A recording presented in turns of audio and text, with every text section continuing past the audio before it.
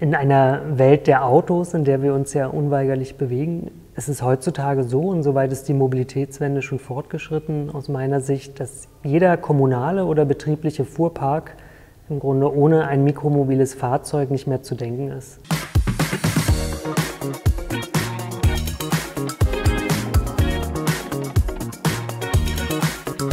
Mein Name ist Stefan Döbrich, ich bin Geschäftsführer und Gründer der Business auf Rädern GmbH. Und die Business auf Rädern GmbH konzipiert Mobilitätsprojekte, Mobilitätslösungen mit mikromobilen Fahrzeugen und setzt diese im Anschluss um für Unternehmen und für Kommunen. Der Gründung von Business auf Rädern voraus ging ein Mobilitätsprojekt, was wir damals mit Jugendlichen gemacht haben. Und zwar war die Idee, an Bahnhöfen Fahrradstationen aufzubauen, mit dem Ziel, die Jugend wieder in Arbeit zu bringen. Durch unsere Präsenz vor Ort in den Kommunen kam es zu einer erhöhten Nachfrage, gerade bei den Kommunen, in denen wir waren, auch bei Unternehmen nach Dienstfahrrädern und eben auch schon nach Lastenfahrrädern. Sind auf Rädern hat zehn Mitarbeiter und wir haben Leute im Vertrieb, wir haben Leute im Projektmanagement und vor allem auch im Servicebereich, wo unsere Mitarbeiter dann mit mobilen Werkstätten zu den Kunden fahren und dort dann im Grunde auch Reparaturen und Wartungen durchführen. Business auf Rädern hat sich ja zur Aufgabe gemacht, ähm, Flotten von Kommunen und Unternehmen zu managen Zuvor gibt es aber immer eine Analyse, sozusagen, was gibt es schon. Und wir haben ein modulares System aufgebaut von neun Modulen. Und deshalb ist es so, dass wir natürlich mit den Bereichen ähm, Planung und Konzeption beginnen und geben dann in den Innendienst, in das Projektmanagement und dann in den Service. Also das Thema Mikromobilität ist nicht ausschließlich ein Thema für Großstädte, sondern auch ähm, für Kleinstädte im ländlichen Gebiet, auch Kommunen die sich vielleicht ein bisschen zergliedern, sozusagen, mehrere Ortsteile haben, aber auch Betriebe auf dem Land, ne, die beispielsweise ihren Mitarbeitern es ermöglichen wollen, über ein Dienstradleasing auch das E-Bike privat zu nutzen, ja, um Mitarbeiterbindungen zu forcieren, um einfach auch mal Danke zu sagen an die Mitarbeiter. Das haben wir auch oft. Also wir bieten ganz verschiedene Fahrzeuge und Fahrzeugkategorien an, also vom klassischen Fahrrad bis hin zum Schwerlasten E-Bike wir gehen nicht von vornherein hin, ihr müsst jetzt hier alle Autos verkaufen und durch Fahrräder ersetzen. Aber das ist nicht der Ansatz und das würde auch nie funktionieren, sondern es geht immer nur um Ergänzung und dann nach und nach eine Ersetzung herbeizuführen.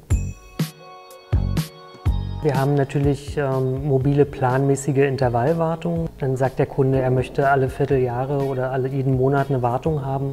Dann können wir das eintakten, dann fahren unsere Kollegen dorthin mit den mobilen Werkstätten und wenn es Reparaturen gibt, dann rufen die Kunden an, entweder wir haben ein, ein direktes Servicetelefon oder eine Hotline und dann kommen das zu unseren Kollegen im Innendienst, die planen das und dann fahren die Kollegen los und dann wird die Reparatur durchgeführt.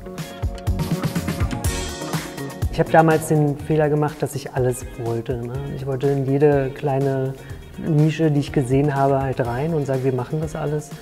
Aber man verzettelt sich da oft schnell und meine Empfehlung wäre wirklich zu sagen, wir fokussieren uns auf eine bestimmte oder ein bestimmtes Produkt oder eine bestimmte Dienstleistung und versuchen die erstmal ans Laufen zu bekommen. Dieses ähm, Gefühl, dass es genau das Richtige ist, das ist, glaube ich, das Geheimnis bei Gründern, dass sie dafür brennen. Ich habe ähm, bei einem Netzwerktreffen jemanden von der Sparkasse kennengelernt und da wir, sind wir ins Gespräch gekommen und haben darüber gesprochen, was also Business auf Rädern eben macht. Ich war auch nicht ganz zufrieden damals mit meiner Hausbank und ähm, mein Mensch, lass uns da nochmal reden. Ähm, wir haben hier Projekte vor, da brauchen wir einfach Unterstützung, die können wir nicht aus eigener Kraft stemmen und es ging alles super schnell und super reibungslos und dann habe ich gedacht, okay, das ist eigentlich genauso stelle ich mir die Zusammenarbeit auch mit einer Bank vor. Und das ist bis heute der Fall. Also es ist sehr unkompliziert und sehr schnell vor allem. Als nächstes äh, sind Projekte mit Wohnungsbaugesellschaften, ähm, die wir gerne umsetzen wollen, wo wir schon kurz davor sind, aber auch mit Kommunen, die Sharing-Systeme implementieren wollen. Das heißt, für Verwaltungen, wo eben nur Mitarbeiter von Verwaltungen auch ausleihen können oder auch auf großen Betriebsgeländen sind wir so weit, dass wir eben eine komplette Sharing-Lösung anbieten können, die über eine App funktioniert. Es geht ja auch um CO2-Abdruck und da kommen solche Lösungen absolut gelegen und da sind wir noch dabei und das werden wir in diesem Jahr noch sozusagen in die Wege leiten.